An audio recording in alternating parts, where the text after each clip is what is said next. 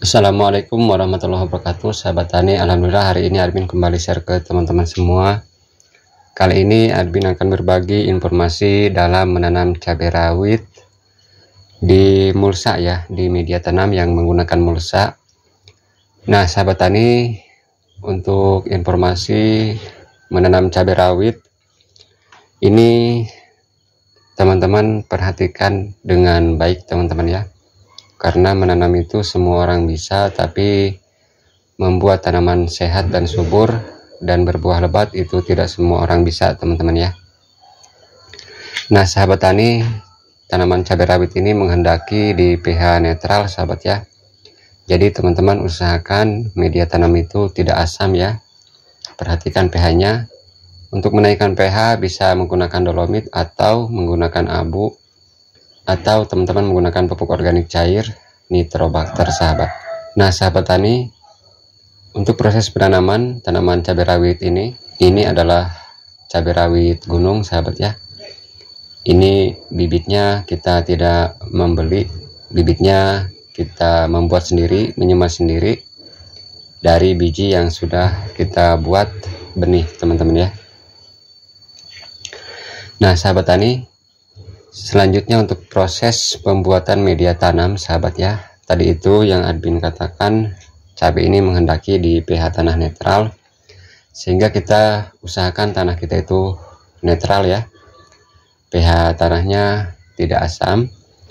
Nah dalam hal ini kita bisa membuat parit di bedengan kita lalu kita bakar terlebih dahulu untuk menetralkan pH tanah dan juga untuk penyihatan tanah dari patogen teman-teman ya. Nah sahabat tani selanjutnya setelah kita bakar media tanam kita kita siram dengan air ya atau kita tunggu sampai turun hujan.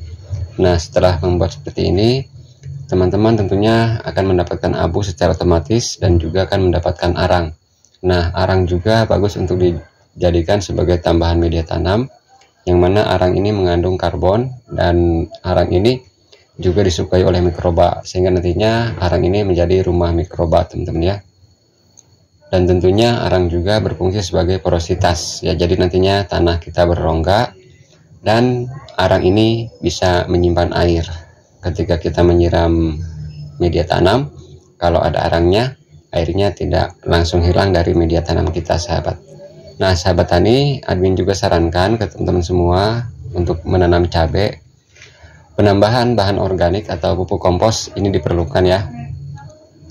Nah untuk pupuk organik ini bisa menggunakan pupuk kandang ataupun pupuk yang sudah jadi misalkan seperti petroorganik ya pupuk organik dari toko ya yang sudah jadi contohnya petroorganik nah sahabat tani ini bisa kita tambahkan sebagai pupuk dasar pada media tanam.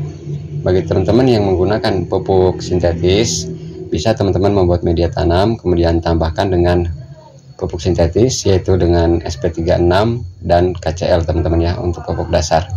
Selain itu admin juga menyarankan bagi teman-teman yang membuat media tanam untuk pupuk dasar tanaman cabai tambahkan asam humat ya. Kalau nggak ada asam humat teman-teman bisa tambahkan dengan tanah subur atau tanah humus atau tanah hutan sahabat.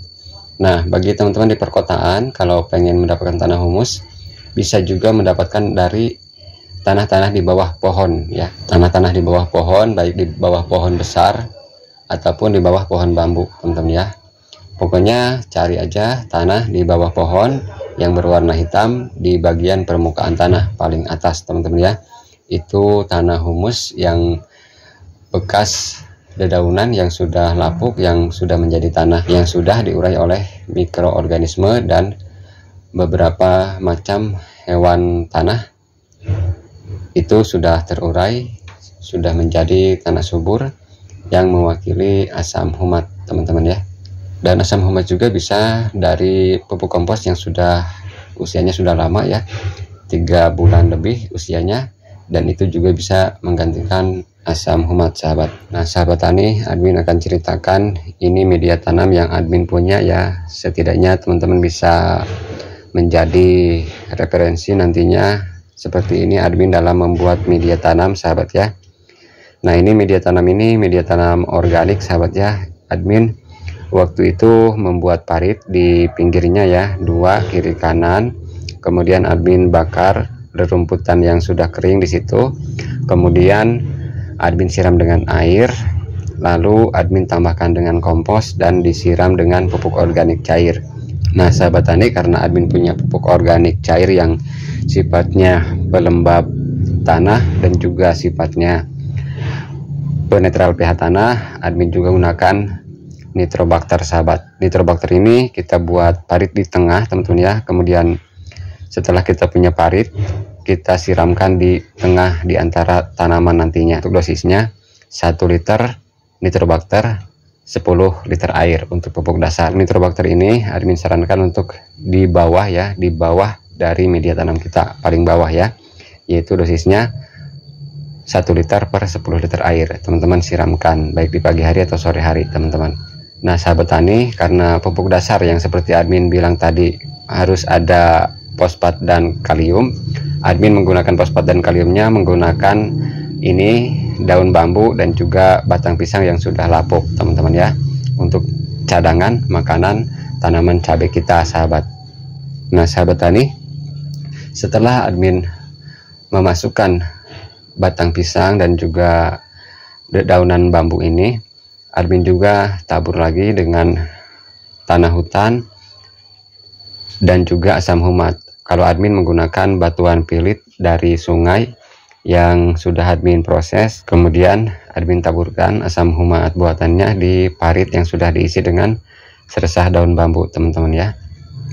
Nah setelah itu admin juga tambahkan dengan pupuk organik cair yang admin sebut sebagai bakteri parut fosfat yang sebenarnya adalah cairan jakaba teman-teman ya. Nah untuk cairan jakaba atau bakteri pelarut fosfat dan bakteri lainnya ini fungsinya sebagai ZPT dan sebagai perombak fosfat teman-teman ya. Ini kita gunakan 1 liter per 10 liter air. Kemudian admin siramkan di atas serasah daun bambu untuk mengurai daun bambu dan juga untuk mengurai batang pisang yang sudah kita pasang tadi teman-teman. Nah setelah itu admin tutup media tanamnya. Kemudian setelah ditutup admin pasang mulsa teman-teman. Nah sahabat tani ini sekedar pencerahan aja bagi teman-teman. Kalau mau menanam cabai teman-teman ya bagi petani konvensional teman-teman berarti siapkan pupuk organik misalkan petroganik atau pupuk kandang. Kemudian siapkan SP36 siapkan KCL siapkan juga asam humat. Karena itu pupuk dasar untuk tanaman cabai.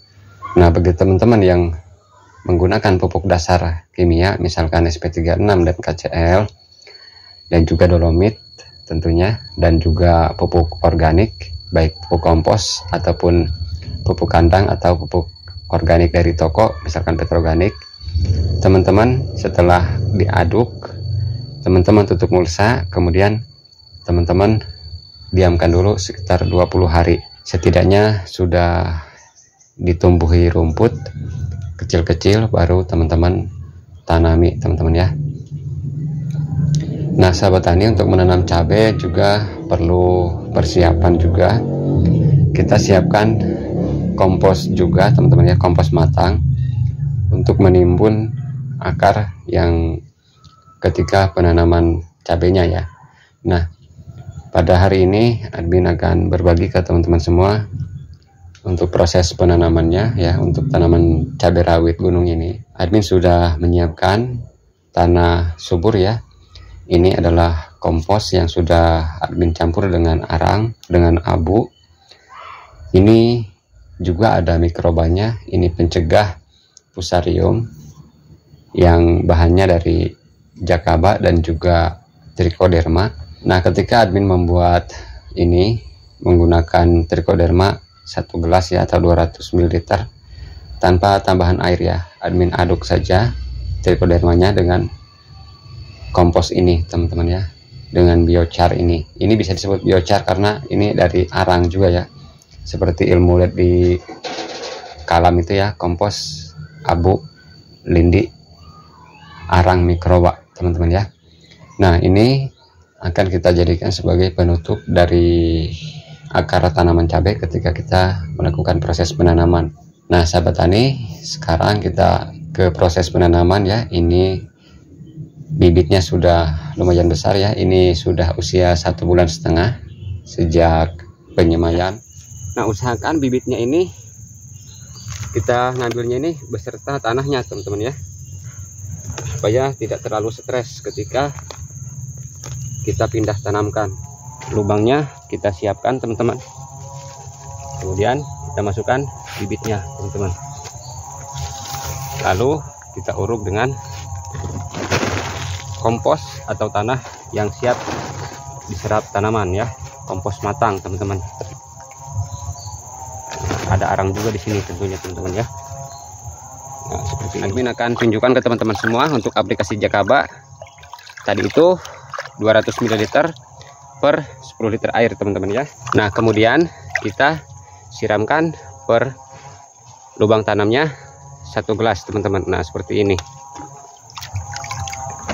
nah seperti ini teman-teman. Insya Allah nanti tanamannya ini subur tidak kena pusarium dan juga tentunya berbuah lebat. Sore ini admin akan lakukan pemasangan ajir sahabat. Kenapa sih harus dipasang ajir sejak dini? Supaya penancapan ajir pada tanaman cabai tidak mengganggu akar jadi admin akan langsung pasang ajir sahabat. Jangan dekat akar ya. Nah sebelah sini agak jauh.